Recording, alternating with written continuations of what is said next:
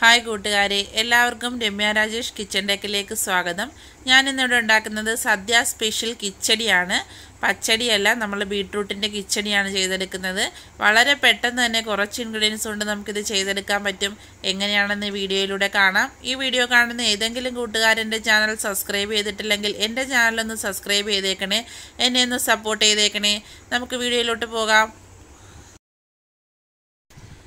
കിച്ചടി തയ്യാറാക്കുന്നതിനുള്ള ചട്ടിയുടെ ചൂടായി വന്നിട്ടുണ്ട്. അതിലേക്ക് നമുക്ക് കുറച്ച് വെളിച്ചെണ്ണ ഒഴിച്ചു കൊടുക്കാം. വെളിച്ചെണ്ണയിൽ നമ്മൾ കിച്ചടി ചെയ്തെടുക്കുന്നതാണ് ഒരു പ്രത്യേക ടേസ്റ്റ്. എണ്ണ ചൂടായതിനു ശേഷം അതിലേക്ക് നമുക്ക് കടുക് ചേർത്ത് കൊടുക്കാം. ഒരു ടീസ്പൂണോളം കടുക് ചേർത്ത് കൊടുക്കണം. കടുക് ഇവിടെ നന്നായിട്ട് പൊട്ടി വന്നിട്ടുണ്ട്. അതിലേക്ക് നമുക്ക് അരിഞ്ഞു വെച്ചിരിക്കുന്ന ബീട്രൂട്ട് ചേർത്ത് കൊടുക്കാം. ഞാനിവിടെ ഒരു ചെറിയ ബീട്രൂട്ടാണ് എടുത്തിരിക്കുന്നത്. നമുക്ക് കിച്ചടിയൊക്കെ കുറച്ച് അളവിൽ മതി. അതുകൊണ്ട് നമുക്ക് ഒരു ചെറിയ ബീട്രൂട്ട് എടുത്ത് അരിഞ്ഞ് എടുത്താൽ മതിയാകും.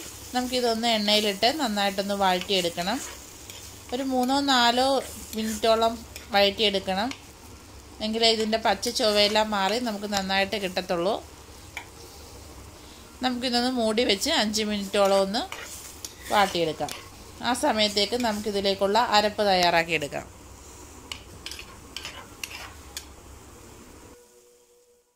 അഞ്ച് മിനിറ്റോളം നമ്മുടെ ബീട്രൂട്ട് ഇവിടെ വാടി വന്നിട്ടുണ്ട്. ഇതിലേക്ക് നമുക്ക് കുറച്ച് ഉപ്പ് ചേർത്ത് കൊടുക്കാം.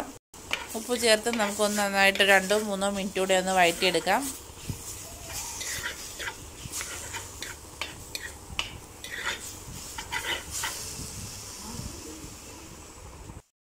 കിച്ചടിയിലേക്ക് ചേർക്കുന്നതിനായി ഞാനിവിടെ ഒരു അരമുറി തേങ്ങ ചിരണ്ടി എടുത്തിട്ടുണ്ട്. ജീരകം പച്ചമുളക് നമ്മൾ മഞ്ഞൾപ്പൊടി ചേർക്കാതെയാണ് കിച്ചടി തയ്യാറാക്കി എടുക്കുന്നത് ഇവയെല്ലാം കൂടെ നമുക്കൊരു മിക്സിയുടെ ജാറിലിട്ട് നല്ലതുപോലെ ഒന്ന് അരച്ചെടുക്കാം. വെള്ളം കുറച്ച് നല്ല തിക്കായിട്ട് അരച്ചെടുത്താൽ മതി. അരപ്പ് ഇവിടെ നന്നായിട്ട് അരച്ചെടുത്തിട്ടുണ്ട്. മഞ്ഞപ്പൊടിയൊന്നും ചേർക്കാതെ നമ്മൾ തേങ്ങയും ജീരകവും പച്ചമുളകും കൂടെ മാത്രമാണ് അരച്ചെടുക്കുന്നത്. അത് നമുക്ക് നമുക്ക് ബീട്രൂട്ട് വാടി വന്നിരിക്കുന്ന ബീട്രൂട്ടിലേക്ക് ചേർത്ത് കൊടുക്കാം. കിച്ചടി ആയതുകൊണ്ട് തന്നെ നമുക്ക് ഒത്തിരി വെള്ളത്തിന്റെ ആവശ്യമില്ല. നന്നായിട്ട് അരപ്പ് നന്നായിട്ടൊന്ന് തിളച്ച് ചെറുതായിട്ടൊന്ന് തിളച്ച് വരുന്നവർ നമുക്കിതൊന്ന് ഇളക്കി കൊടുക്കാം. അരപ്പിന്റെ പച്ചമണം മാറുന്നത് വരെ നമുക്ക് ഇതൊന്ന് ഇളക്കി കൊടുത്താൽ മതിയാവും. കിച്ചടി ആയതുകൊണ്ട് തന്നെ നമ്മളിതിലേക്ക് കടുക് അരച്ച് ചേർക്കത്തില്ല. പച്ചടി ആകുമ്പോഴാണ് നമ്മൾ കടുക് ചേർക്കുന്നത്. കിച്ചടിക്ക് ഒരു പ്രത്യേക ടേസ്റ്റ് തന്നെയാണ്. ബീട്രൂട്ട് കിച്ചടി ഇവിടെ റെഡിയായി വന്നിട്ടുണ്ട്. അരപ്പെല്ലാം തിളച്ച് പച്ചമണമെല്ലാം മാറിയിട്ടുണ്ട്.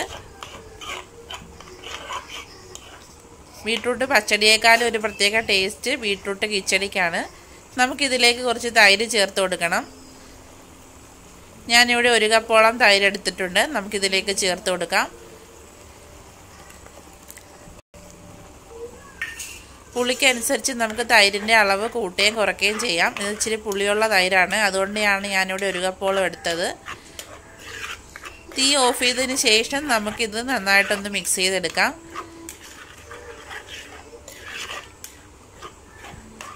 തൈര് നമ്മുടെ കിച്ചടിയിലോട്ടൊക്കെ നന്നായിട്ട് പിടിച്ചു വന്നിട്ടുണ്ട്.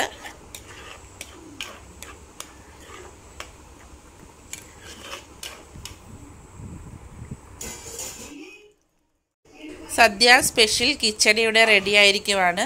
കുറച്ച് ഇൻഗ്രീഡിയൻസ് കൊണ്ട് തന്നെ നമുക്ക് സദ്യയിലൊക്കെ കഴിക്കുന്ന അതേ ടേസ്റ്റിൽ കിച്ചടി വീട്ടിലുണ്ടാക്കിയെടുക്കാം. വളരെ പെട്ടെന്ന് നമുക്ക് ഉണ്ടാക്കിയെടുക്കാം. കിച്ചടിയുടെ പ്രത്യേകത എന്ന് പറഞ്ഞാൽ നമ്മൾ കടുക് അരയ്ക്കത്തില്ല കടുക് അരയ്ക്കാതെയാണ് കിച്ചടി ചേർത്ത് ചെയ്തെടുക്കുന്നത്. പച്ചടി ആകുമ്പോഴാണ് നമ്മൾ കടുക് അരച്ച് ചെയ്യുന്നത്.